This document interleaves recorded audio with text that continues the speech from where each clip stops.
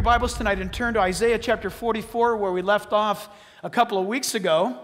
And a little bit of background uh, and review, and then we'll uh, pick it up uh, just about near the end of the chapter where we ended. But we're looking at a message entitled His Spirit, that is, His Holy Spirit is our hope. And uh, we saw in verses 1 to 6 that the Holy Spirit is our hope because we learned from the prophet Isaiah that it's God's Spirit that pursues us. And of course, he's speaking to the nation of Israel but the Bible tells us in Romans chapter 15, verse 4, Paul wrote to the church in Rome that all of the things written previously in the Bible, that is the Old Testament, were written for our learning, and that by our patience, learning the scriptures, we might inherit these promises. When Paul wrote that to the church at Rome, he was talking about us as Gentile believers. Again, remember, he's talking to the Romans, Italians, that God's promises were given to all those who believe in him.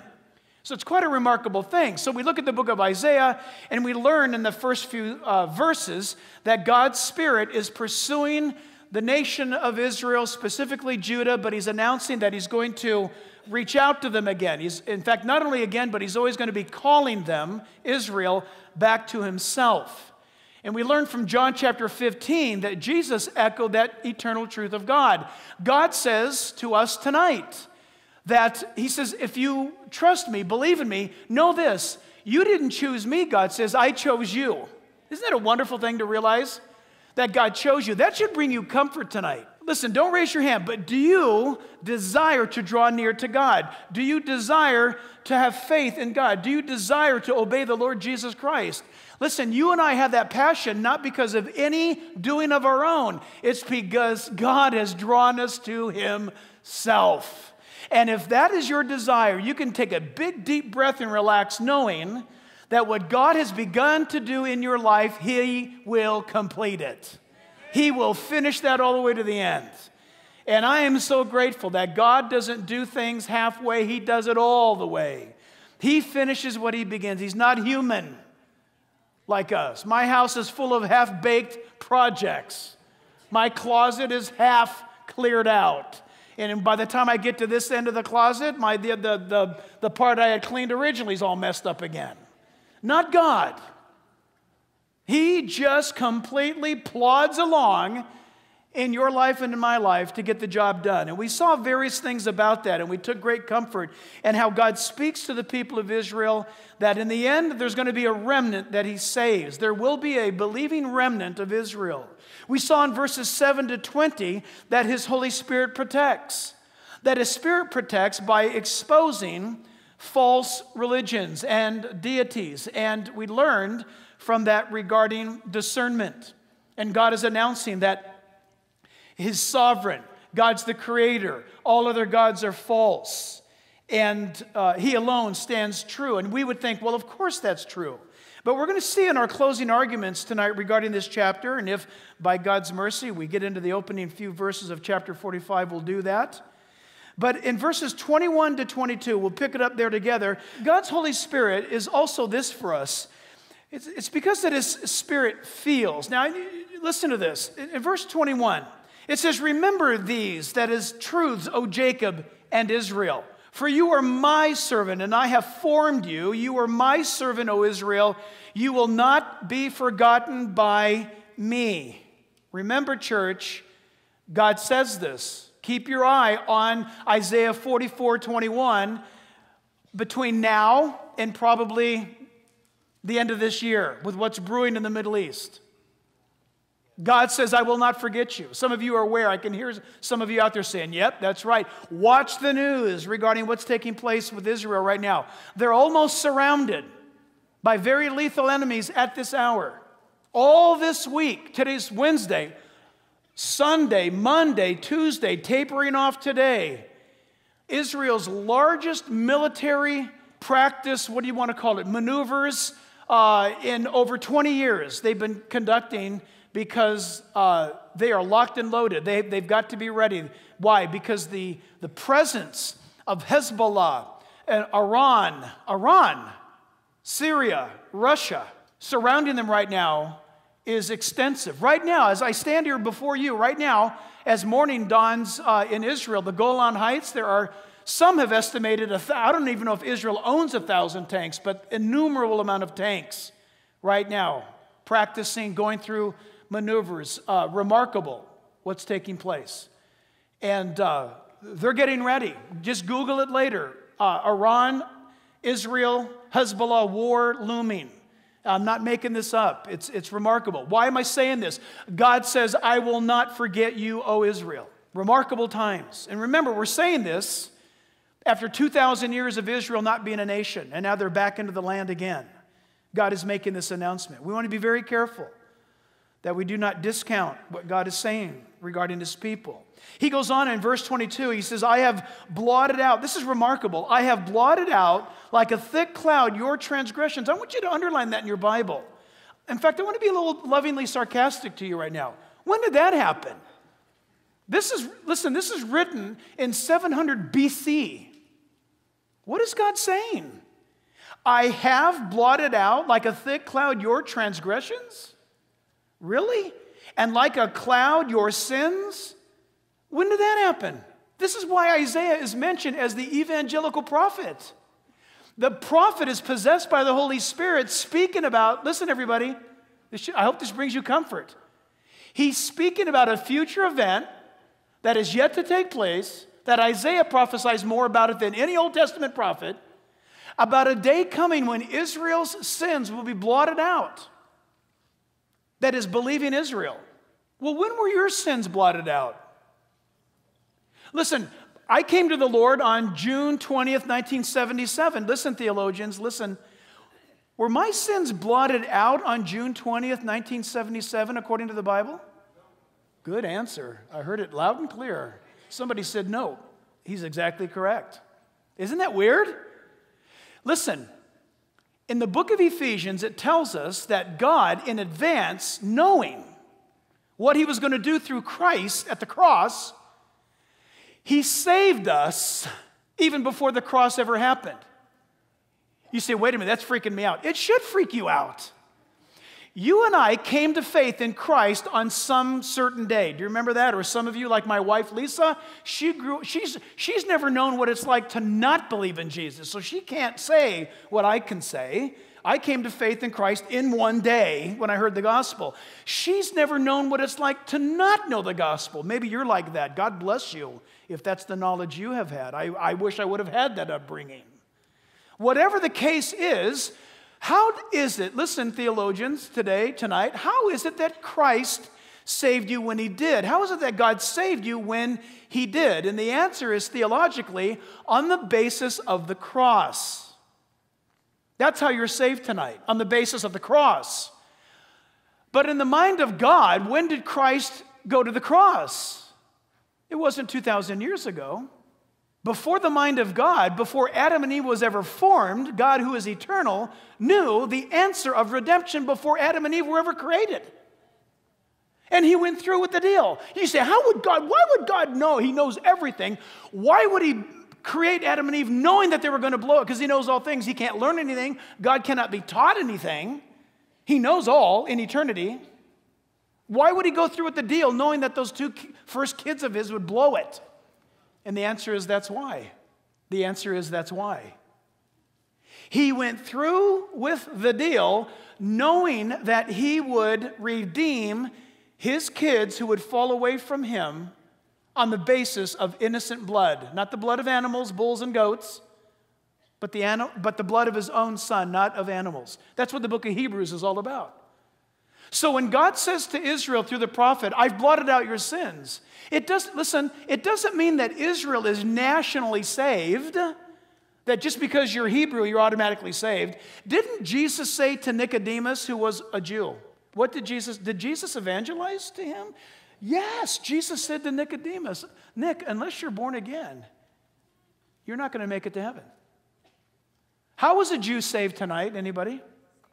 You got to be born again if you're Jewish tonight. No, no, no. I'm Jewish, I go. No, you Jewish, you not go. no, no. A Jew has to go the same way as a Gentile. God says, I am God, I've created all, and there's no distinction between Jew and Gentile. And besides, if you want to get in a fight about this, I'll take you on right now about this one. The first Jew that ever was was first a Gentile before he was a Jew. See how excited I am? I'm going like this about it. Abram was a Gentile before he became a Jew. How do you become a real Jew? Oh, the answer is both in the Old Testament and in the New. By the way, listen spiritually, you realize something in here in this room? No, there's some Jewish people in this room. There's some what's what we'd say messianic believers or believers. We'd call them believers. In Israel, believers call themselves believers. They don't call themselves Christians. And that's cool. I like that. They call themselves believers.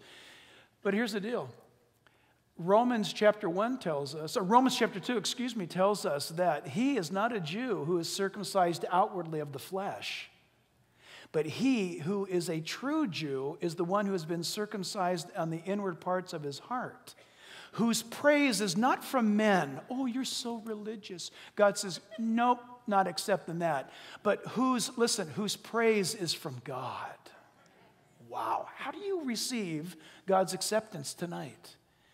Christ. From Old to New Testament, God blots out sin and transgressions by the sacrifice of innocence. There is no one more innocent than his only glorified Son, Christ Jesus. Isn't it remarkable that the prophet speaks? And listen, think about it. Now put on your prayer shawl or put on your your yarmulke and be Jewish for a second, and you're reading today, imagine today, 21st century, you're Jewish, and you're reading the, your prophet Isaiah, and you come to this verse 22 of chapter 44, and you read, I have blotted out like a thick cloud your transgressions, and like a cloud your sins. Return to me, for I have redeemed you. Is that not in the Bible? If you're Jewish tonight, how do you answer that verse? I would have to ask you, wouldn't this verse trump temple worship? Wouldn't this verse trump sacrificial animals? Red heifer, Passover lamb? Ladies and gentlemen, are you with me? Think of it. God says, I have, in the past tense, blotted out. That means it took innocence. I, I would ask when?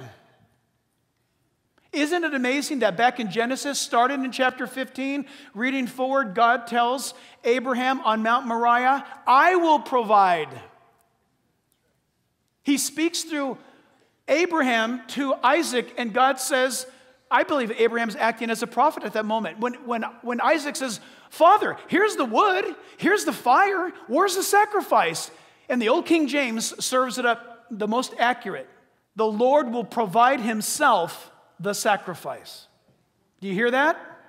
Awesome.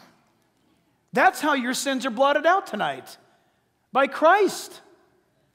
Listen, the price has been paid 21 centuries ago. Just like Isaiah in his day is looking ahead to the future. You and I look back.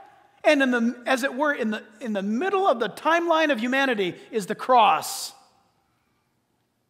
Abraham looked ahead, you and I look back. We all look to the same point. It's the cross, the cross, the cross. Christ died on the cross. Exactly as the prophets foretold, he would die as a sacrifice.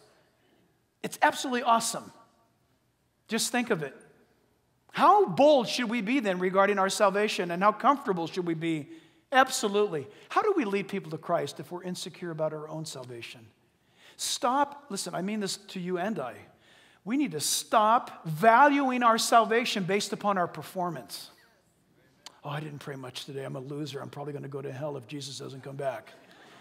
You, you would make a great cult member of some group then. It's all about works for you, right? Listen, listen, I know, I know the flesh feels better when we give more or, or serve more or pray more and we feel more accepted. Do you know that's a fallacy? His love is not human love. Well, I don't know if I like you today. Just stay away from me. You've upset me today. Do you know God's not like that? It's hard for us to grasp that because we are so performance based people. He loves you, He has set His seal upon you. Think of that. Do you trust Christ tonight? I didn't ask you how much do you trust Him. Do you trust Him? Do you believe He died on the cross for your sins? God says, I've blotted out your sins. You want to fight with him about it? I, I suggest you be quiet. Let him win. Believe him. He's awesome. And then in verses 23 to 28, his spirit is our hope because his spirit is, frankly. His spirit is eternal. Verse 23 Sing, O heavens, for the Lord has done it. That's awesome. Shout, you lower parts of the earth. Break, break forth into singing, you mountains, O forest, and every tree in it. For the Lord, notice in your Bible, all capital letters, Yah. That's the name of God. This is not the word God, and this is not uh, Lord as master. This is his name. For Yah has redeemed Jacob and glorified himself in Israel. Remarkable. I see John's wearing tonight the Ezekiel 38. Is that what you got? Ezekiel 38 and 39 on your shirt? I, right here in my notes tonight, you can look at them later online. I've got uh, just in parentheses Ezekiel 36 to 39. God says in Ezekiel 36 to 39, by the way, we're very close. We've never been this close in the history of mankind to the fulfillment of the Ezekiel fulfillment. Read it. You need home, this is your homework. Go read Ezekiel 36, 7, 8, and 9 you look at that and you, you look at what's happened in the world around us, and it's, it's never been closer. But God says, just watch this. I'm going to I'm going to glorify myself in Israel. Now, there may be some of you here tonight, or some of you watching, and, and uh, you're a product of uh, modern day college campuses, anti Israel, anti Israel nation, anti Jew. There's a lot of that in college campuses uh, today. It's, it's just goes with all the other lunacy that's on campus. Uh, Parents, by the way, I'm a firm believer, you ought to dry up the money stream to the, to the universities. I'm dead serious. Cut them off. Just cut them off. You, where, where do I send my kid to college? I don't know anymore. Maybe the Khan Academy might be a good place. Khan, K H A N. Maybe the Khan Academy. I don't know. But you understand, if you're going to, I forget the prices. Please forgive me for being off. I'm sure I'm going to be way lowball because I'm an old guy. But if you're going to send your kid to Columbia or to Harvard or to Stanford and spend, what is it, 100,000 bucks a year, maybe, maybe $200,000, I don't know what it is. What, what are you going to pay for? What are you buying? You're buying the professor's opportunity to indoctrinate your kid on that professor's political worldview. You think you're going to get a really decent electrical engineer now out of Stanford? Not anymore. No, you're going to get a kid that's full of political jargon and craziness. Do you want your, listen, don't send your kid to college to learn all about how ridiculous you are and your Christian worldview. That's what kids are doing. Look it up. I don't know what the answer is. But if, if I had unlimited funds, I would not be sending my kid to Harvard. It is an absolute disgrace, which I always love to say this. I wouldn't be sending my kids to a Christian university founded by a Christian pastor whose name was John Harvard. Did you know that? Harvard University was a seminary for pastors founded by John Harvard. Samuel Adams, John Adams, the whole Adams family went there. Everybody went there. Did you know that? Did you know Yale was a Christian university? Princeton, Christian university. Did you know they all went nuts? Now they're anti Christian. That was my little rant. It was nowhere in my notes. I just felt very possessed to do that, but Verse 24, for thus says the Lord, that's Yah again, your Redeemer. Isn't that beautiful? He who has formed you from the womb. I am the Lord who makes all things. I love God when he flexes. I've made all things. Watch. Who stretches out, any astronomers in here, listen, this is awesome. Who stretches out the heavens all alone. This word stretches out in the Hebrew. Watch this, everybody. It wasn't, too, wasn't until not too long ago that we discovered that the universe is what? Constricting or expanding? Expanding. God says in the, in the Hebrew language, in Isaiah 44, I've stretched it out, I flung it out, and it's still being flung. NASA, JPL figures that out. Oh, I love it. God says, I did that. Get your Hubble, get your telescopes, get your science, get your all your stuff out there. You're going to find out. Watch. You're going to listen. You're going to find out that it's moving outward and now you're faced with the dilemma Ninth grade science has got to answer this question. If it's moving out, stop the movement and roll back the hands of time and make it go backwards because you can't tell where you're going unless you first find out where you've come from. So stop the mechanics, the astrophysics, roll back, put it through a computer model. If we're moving, I forget what the numbers are. Many of you are so much smarter than this. We, you know, just but by the time 24 hours from today, all of the mechanisms in motion, the, the earth spinning, our, our galaxy, our system all moving, it's, I think it's something like 1 million miles. We will have all moved in movements 24 hours from right now. The spot that this globe is in right now in space, it will never be visited again. And we're moving outward, and we haven't hit the wall yet at the end. And God says, and yet, listen, all things physical are limited. Are you sitting down? Think of this for a moment. All things physical are limited. How old is the earth? How old is the universe? I don't know, neither do you. I just know this we haven't hit the end yet. All things physical are limited. And God says, I made it all. He's just looking at it like it's a little goober right here in the, he's just like, and we think we're something.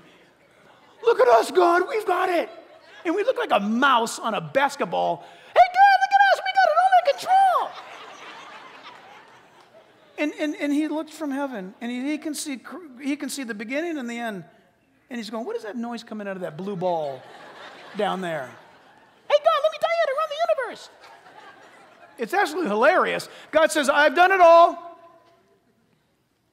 I've done it all. Who spreads abroad the earth by himself or by myself. Verse 25. Oh, this is, hang on to your seats. I'm going to get in trouble tonight. Verse 25, who frustrates the signs of the babblers. Some of your Bible translations in the margins have words like this who frustrates the signs of the forecasters. I'm not talking weather. These are, these are uh, uh, self appointed prognosticators. God says, I frustrate those who make stuff up, and I didn't say it and drives diviners, those who see things that are not. Listen, he says, I, I drive them mad. Why? Because the things that they say don't come to pass. They're forecasters, but what they forecast doesn't happen. God says, I frustrate those people. I like that. And then he says, To those who make stuff up, I drive them nuts. Who turns wise men, this is a sarcasm. These are not like wise men like the Magi. These are self appointed people who say things like this um, I have an inside track on this. Let me tell you what it means. Now, you won't understand anything about this unless you buy my book. Now, please listen. I, we laugh at that, and we should laugh at that, but it's also very dangerous because there are people who do buy those books. And there's something about people. Did anybody remember the late Dr. Walter Martin? One of the great, great theologians of our time. Loved him. I had a chance to see him many times speak at Calvary Costa Mesa and Newport Mesa Christian Center. Was, he was amazing. I loved that guy. I've never seen anybody more bold in my life. He was amazing. Dr. Walter Martin said, there are people who just do not have an appetite for truth. They can't see, they can't see the truth, they're not interested in the truth, but they're very religious people. They love religion of whatever sorts, but they don't want the truth. And he said something I've never forgotten. He said, You should thank God for the cult that's down the street. And when I heard that, I thought, oh, That's terrible. And he said, because if those religious people were not at that cult down the street, they would be in your church. people in your church with no appetite for truth. You and I have relatives like this, do we not? We know people like this. They're very spiritual, but they have no appetite for truth. God says, I drive them crazy. I drive them mad. I frustrate them. He says that he makes their knowledge foolishness, a mockery. He makes their brilliant insights a joke. All right, so I want you guys to look at this video for a second and listen carefully. There's a prophetic news service called unsealed.org that's looking for spiritual significance in the August 21st solar eclipse to see if it's really a sign in the heavens. Unsealed's Gary Ray finds some names of the towns in the path of the eclipse significant. The first major town it's going to cross is uh, Salem, Oregon. Um, and if you recall, that uh, there was the, the priest called Melchizedek who was from Salem, which Okay, a lot of stop, scholars stop. think was the original name. Stop, just pause it. Pause it for a second. I should have said this. What you're about to hear is not how you're supposed to interpret the Bible. Okay? Maybe you want to start it over. But when you hear what you're about to hear, this should get some sort of a, a- an award in Hollywood. You cannot, ladies and gentlemen, listen, I don't know who that guy is, I don't care to know. You can't do this when you're reading your Bible. Do you understand that? It's the exact same thing as this morning I had a, a scrambled egg and refried bean, bean uh, burrito. Scrambled egg, refried bean burrito. I could have today brought in the tortilla that I just open flamed, heated up, and said, There is on this, can you see it? There is on this the alignment of the heavens and or Jesus. Can't you see it? Do you understand what we're saying? Listen, friends, prophecy, Bible prophecy, was not given to be some opaque, strange, goofy thing that people can make up for their own interpretation. It is exact, and God gave it clearly. You won't have to guess, and some people uh, uh, won't, you know, oh, I can see it, but the multitudes cannot see. When God does his signs and wonders, according to the Bible, everybody sees what's happening and they get it. Okay, can I drop this on you too? This guy's talking about the eclipse that happened a few weeks ago. If you think for a moment, I should have the ushers just open the door now so people can run out. if you think for a moment that a biblical sign and wonder is a NASA, JPL, or astronomers telling you that on such and such a day there's going to be an eclipse and it's going to enter Salem, it's going to fly over Salem, Oregon, which somehow Melchizedek must have lived or must have had a condo there in a fishing boat. The Prince of Salem from the Bible. And it's going to go out of South Carolina and it's going to go across these cities. Listen, if, if that's a sign and wonder that is predicted by JPL or NASA, I would submit to you tonight that that's not a sign and wonder. What? If you want to say that these moons are going to look like they're turning blood, like, because there's going to be this kind of an eclipse, that is not a sign or a wonder. They're, ladies and gentlemen, listen, they're called signs and wonders. Do you know what that means? That means you can't predict it. It means that God will blot out the sun with no moon passing in front of it. God's going to go, booyah, boom, right, boom. God's going to make the moon without any, without NASA being able to explain it. That's a sign and wonder. Have the moon turn red without any volcanic ash or any other uh, naturally explainable event, and now you got my attention. Are you hearing me? This is important. Now, I don't know what we want to do with this clip now, but There's a prophetic news service called unsealed.org that's looking for spiritual significance in the August 21st solar eclipse to see if it's really a sign in the heavens. Unsealed's Gary Ray finds some names of the towns in the path of the eclipse significant. The first major town it's going to cross is uh, Salem, Oregon. Um, and if you recall, that uh, there was the, the priest called Melchizedek who was from Salem, which a lot of scholars think was the original name for Jerusalem. August 21st, the sun goes dark behind the moon over the west coast, the same moment it sets or goes dark on Jerusalem. Uh, Salem is the shortened version of Jerusalem. So just the fact that the first major town it's going to cross is called Salem, I think should at least get our attention that God's trying to say something about uh, Jerusalem and Israel and what's coming. The baby Jesus' arrival was heralded by a sign in the heavens. The Star of Bethlehem, the wise men, or magi, followed. The names of these cities that the eclipse crosses almost tell us to, to pay attention because uh, one of the next towns that crosses is called Weiser, Idaho. Weiser is German for wise man. Oh, there you Um, go. Another town is called, uh, it- well, it's Casper, Wyoming, and Casper is the Chaldean traditional term for magi or wise man. Seven years later, the same length as the prophesied tribulation, another total solar eclipse goes the opposite direction over the U.S., and the paths of the two eclipses form a cross. Just the fact that there would be two total solar eclipses um, in the most powerful, most influential, most prosperous Gentile nation on earth um, is, is very significant. Where the eclipses meet is actually in southern Illinois, in that region. If you're from that area, you know it's, it's called uh, Little Egypt. Um, and the precise town where the paths meet is called is Makanda. And uh, the old motto for that town was the Star of Egypt. So it's interesting. There's, there's, you know, it's almost like God's saying Egypt, Egypt, Egypt. Well, what could that mean?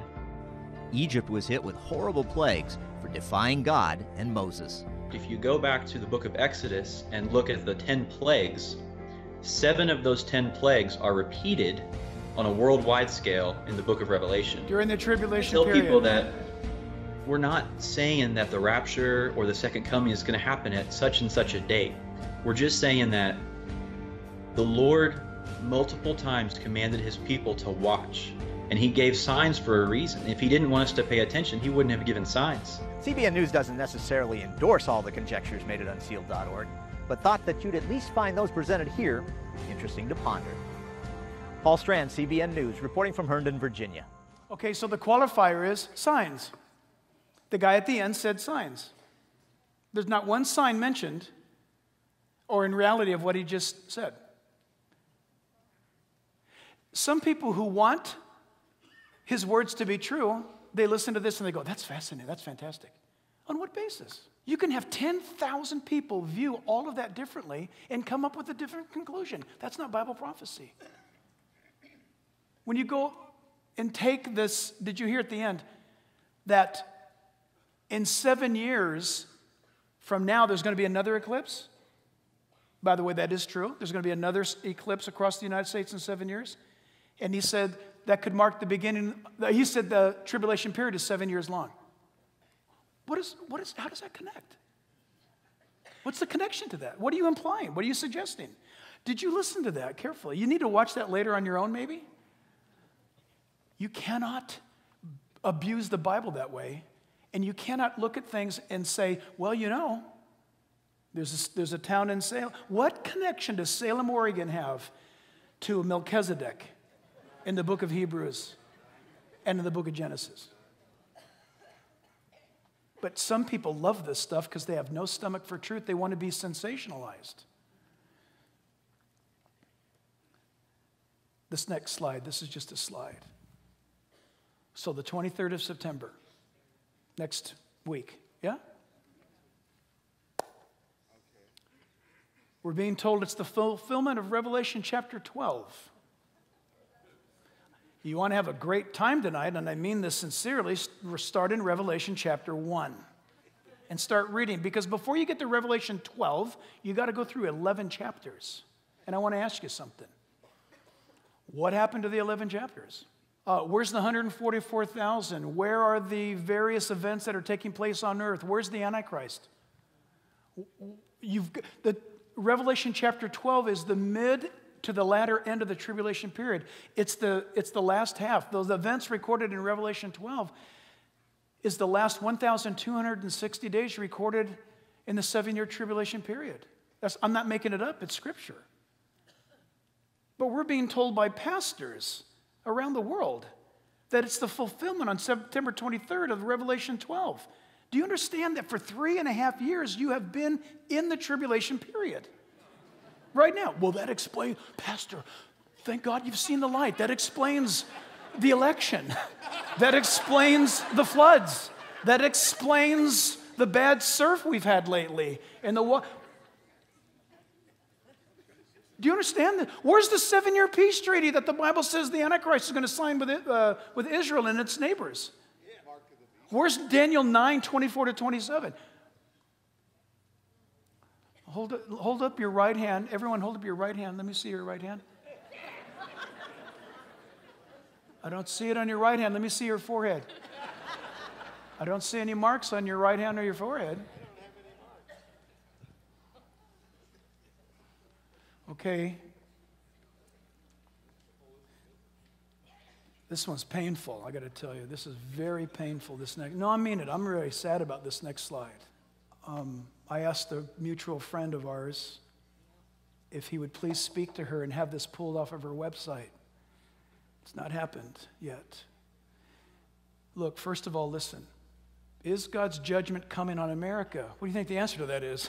Of course it is. God says, I'm going to judge all nations. And America qualifies big time for big discipline. Big time. We're not denying that. Unfortunately, the next verse is Joel 2:31. The sun will be turned into darkness before the coming of the great and dreadful day of the Lord. That's from Joel. Okay, that verse, that chapter is the latter half of the tribulation period that's yet coming. Oh, I don't know if I can read this. A few years ago, I was teaching through the book of Joel when the ancient words of his prophecy came up off the page. Fantastic, good.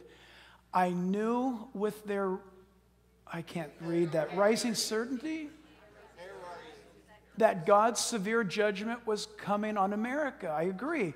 I have taught Joel several times since. Each time has served to confirm with deep conviction that God is warning America uh, of impending disaster and destruction.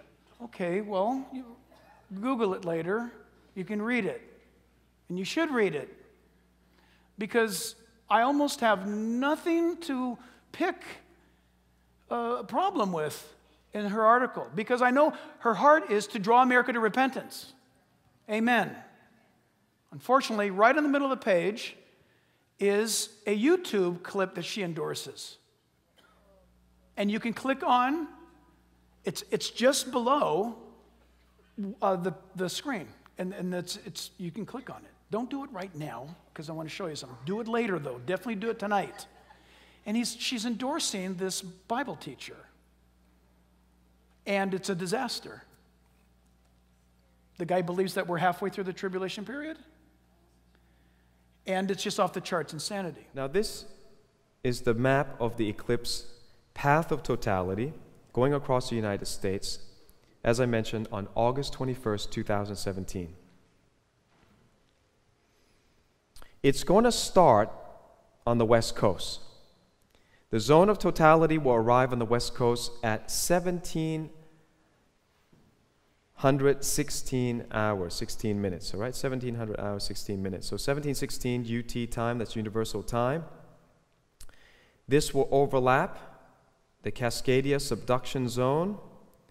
And what's interesting about this, two things. First of all, that it starts by crossing an earthquake zone. And Jerusalem, at that moment, is plus 2 UT time. So 1716 plus 2 is 1916 or 7:16 p.m. Why is that important?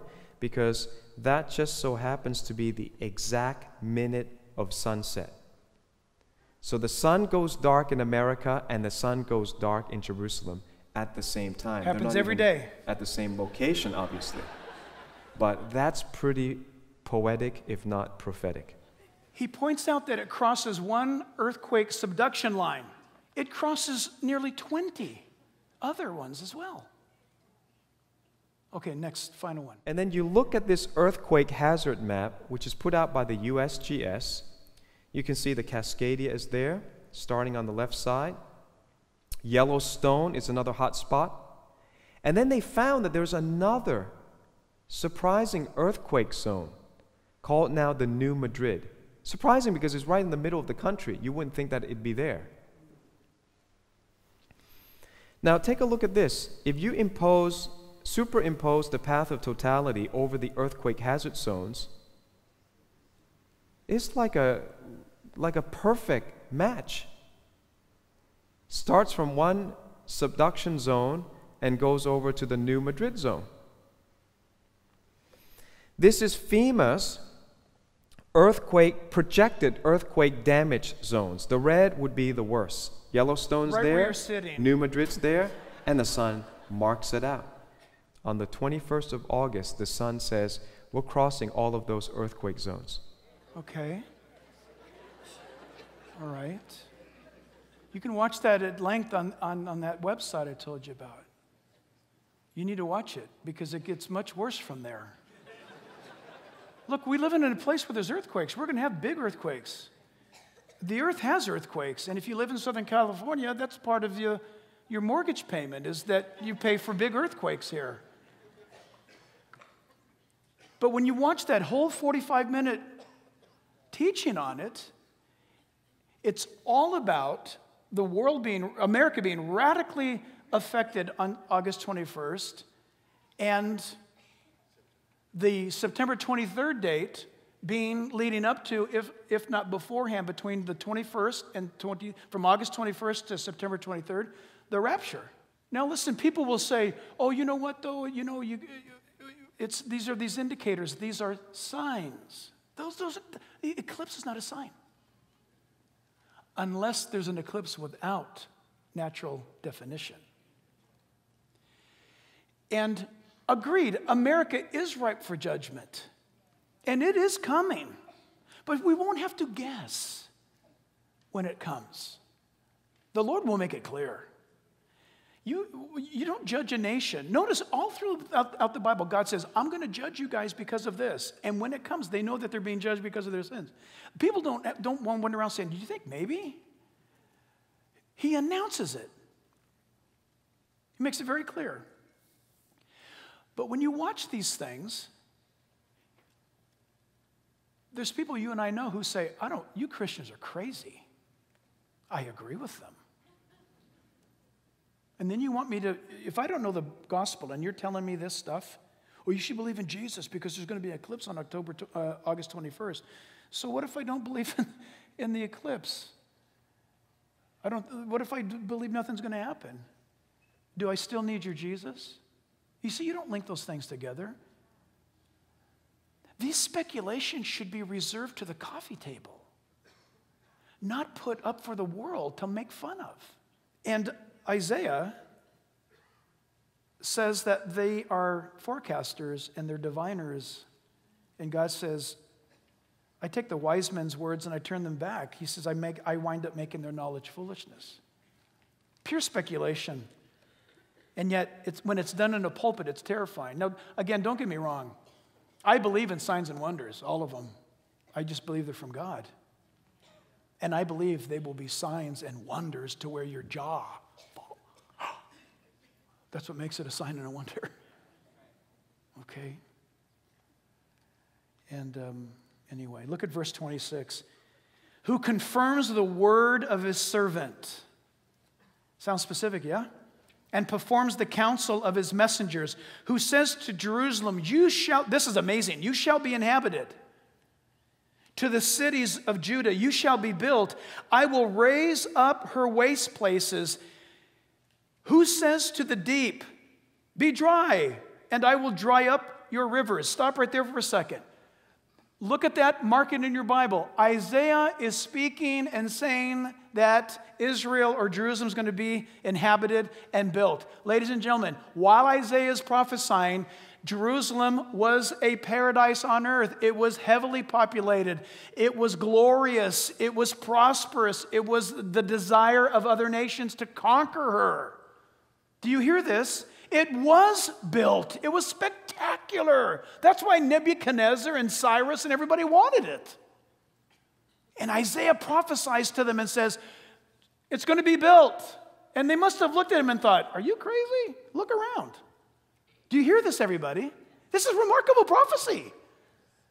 And it's about to get more remarkable. I'm running out of time. Verse 28 Who says of Cyrus, circle the word, the name Cyrus, he is my shepherd. He shall perform all my pleasure. Saying to Jerusalem, You shall be built, and to the temple, your foundation shall be laid. They're scratching their head. Number one, Jerusalem is intact. It's beautiful. Isaiah, are you nuts? And Cyrus, who's Cyrus? Isaiah, God, God speaking through Isaiah, mentions Cyrus's name 150 years before the man's born. Announces the man's name. Quickly, look in chapter 45. We can't stop. I got three minutes. Thus, look at chapter 45. There's no chapter breaks in the original Old Testament. So keep reading. Verse 1. Thus says the Lord to his anointed. Circle the word anointed. Only time in the Bible that the anointed is referring to a Gentile. Ladies and gentlemen, if you're Jewish, this drives Jewish scholars crazy that the God of the Bible calls a Gentile anointed one. It's reserved for the Messiah. Cyrus is not the Messiah like you and I think, but God is going to use this guy named Cyrus in the future to deliver Israel like a Messiah. Again, this is written in 7, Isaiah in 7, 701, 715. Listen to this. Cyrus is not yet born. Remember, when you count the Old Testament dates, it goes down to, are you with me? It goes down in number. Whose right hand I have held to subdue nations before him and loose, that is, this is an awesome word, it means to put fear in the hearts of the armor of kings. To open before him the double doors so that the gates will not be shut. If you want to see this fulfilled, you can read later. Here's your homework read Daniel chapter 5. Belshazzar is in his party room, remember? With all the gold and goblets and stuff from the temple that Nebuchadnezzar had torn down, and he's now the grandson of Nebuchadnezzar. It's the famous, uh, the, you, ever, you ever heard the writing, the handwriting on the wall? It's from that chapter 5, where a hand appears and writes on the wall, Mene, mene, tekel. You've been weighed in the balances, king, and you've been found lacking. And that night, the Bible says it's awesome. Read it later. It's, a, it's an amazing moment because the, the 1,000 of his leaders are all drunk having a party and they're making fun of having, having been uh, conquered years ago Israel or in Jerusalem, the temple, and they're partying with the temple cups and goblets and all that stuff. And the hand appears and writes on the wall. And it says, your kingdom, you've been judged and your kingdom is taken away from you. Basically, you lightweight, you're nothing but an aberration, you're an empty suit, and God's judging you tonight. And while he's partying, Cyrus, Cyrus is upriver on the Euphrates River. He's a Persian, he's an Iranian, Persian. He's upriver while the Babylonians are partying. He has a general who diverts the river the river level drops. But when you're drunk in a party, you don't know. There were massive bronze gates, wood and bronze gates that, that were suspended over the Euphrates River. When Babylon wanted to receive trade in goods, they'd open up the gates and you'd float it right in. It's fantastic. We do that in LA if you think about it, the harbor. Bring in the goods, right? Shut the gates. Nobody. Listen, while they were drinking, Cyrus, they drive up the river. The gates were literally, this is recorded in, natural, in, in history, secular history, and you can read about it at the British Museum. While they were partying, the gates were not locked because they were all drunk. The river dips. Cyrus and his soldiers come in, push the gates open, walk up the riverbed. History tells us that Persia had conquered the city of Babylon and they had control of it for 16 days, and the Babylonians didn't even know it. He conquered the city without a battle. Famous King Cyrus. He's legendary. You can look him up later. God's, God tells Cyrus, I'll open, he wasn't even born yet. listen, according to Jewish history, when Cyrus showed up to Babylon and wound up conquering, Daniel was there. The Bible records that Daniel was still alive. But according to Jewish history, this is not in the Bible, but according to Jewish history, Daniel shows Cyrus when he's, con- when he's there. Daniel, the old man, now he's close to 90 years old. Daniel shows Cyrus, You're in the Bible. You're right here. And he shows him Isaiah and Jeremiah. Cyrus is mentioned nearly 30 times in the Old Testament. Written, and the guy, can you imagine it's you later? You show up 150 years later and your name is in the Bible and it tells you how you're going to attack the city And Cyrus, according to world history, saw that and he said, That's it. Your God is the God of heaven. This is God's city, and I'm going to spare it. And Cyrus wound up being, as it were, the anointed one, the Messiah. He saved the Jews and, and allowed them to rebuild their city. And he was very good. That's why many people today, if you're, if you're a Gentile and you're good to Israel, you might get a nickname like Cyrus. Oh, we have to end. Go to the, I tell you what, tonight, before, go to the British Museum tonight in London and you can read all about it. Father, we thank you for your words. Wow, oh God. And Lord, let us be people who are not uh, led by our feelings and by what we want to hear, but by what your word says. Lord, these are amazing hours, and we pray that you come back tonight. But if you don't, give us the, give us the spirit to fight for tomorrow for truth. And Lord, may we stand firm in your word revealed to us that we don't have to make stuff up. There will be earthquakes, there will be floods, there will be eclipses, there will be wars, there will be uh, diseases, all these things your word tells us in advance and have always been. Yet we do, we do not discredit the fact that we are more nearer to meeting Jesus now than ever before. May we trust in him and him alone. Father, thank you for the cross. Thank you for Christ. Thank you for the call. In Jesus' name, and all God's people said,